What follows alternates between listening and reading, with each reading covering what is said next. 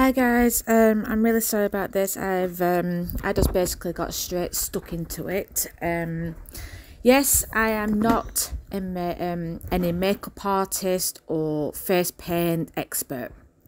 I think you've sort of worked um, that one out, yeah.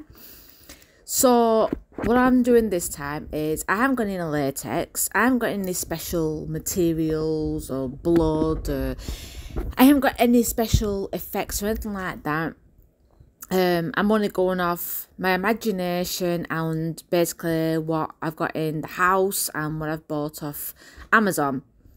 Um, I don't know if I'm getting, I'm probably getting worse, not better, but uh, you know, I've had no comments, so I can't really, um, I can't really decide on for you guys.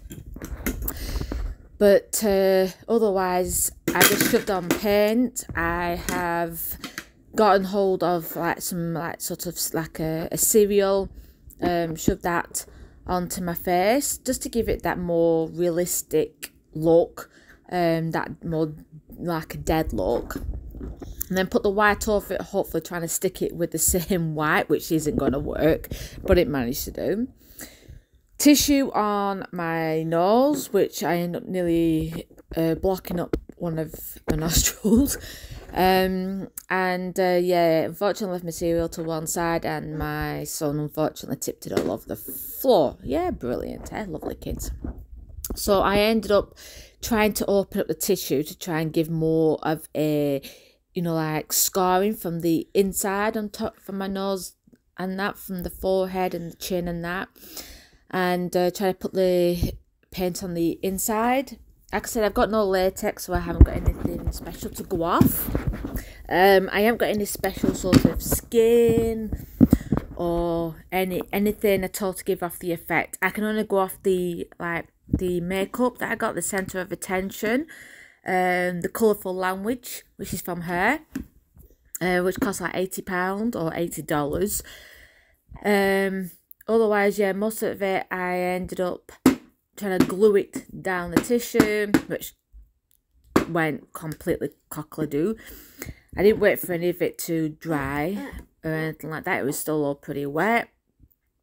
Uh, most of it stuck on, which is pretty good, and some of it went in its own direction and its own way. So I, um, I did what I could. I don't know whether I got the effects right. I tried putting it in the right places and, well, I don't know. I'll let you judge on that. I mean, obviously, you can't come back and tell me that I'm the worst makeup artist ever because obviously that's my title, isn't it? You know. So obviously I've tried doing what I could, um, and that, and so far in real life and that people said, you know, what have you been doing? And to me because I've still left the makeup on my face.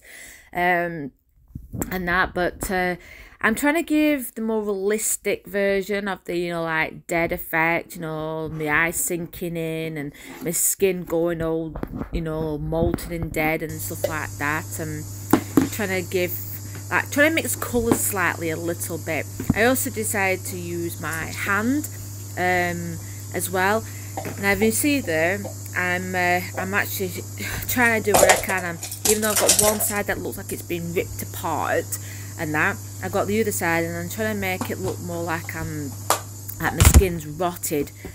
Now, you tell me what you think. You give me your impression, your ideas, your thoughts.